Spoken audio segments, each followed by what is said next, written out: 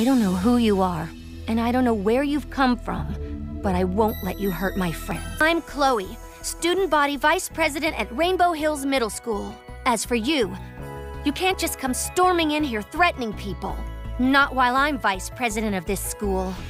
No way. I may not be a superhero, but I won't let you!